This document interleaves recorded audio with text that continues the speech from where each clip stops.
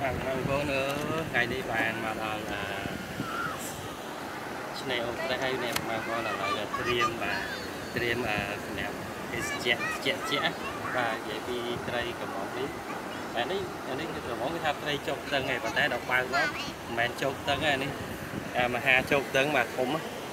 អត់ដែរឃើញធំធំអញ្ចឹងនេះបងប្អូននេះបាទគឺមួយកេះនេះមកមកនេះអា នេះអានេះអានេះអានេះធំធំជាងទៀតបាទសិតតែប្រភេទលេខ1អានេះលើសលេខ1ទៀតនេះបាទលេខ1ដុំ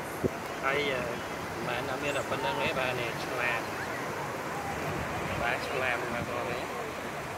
ឆ្លាមអញ្ចឹងទីទៀតនឹងឆ្លាយទៅជាហូបដ៏ឆ្ងាញ់ពិសាបាទ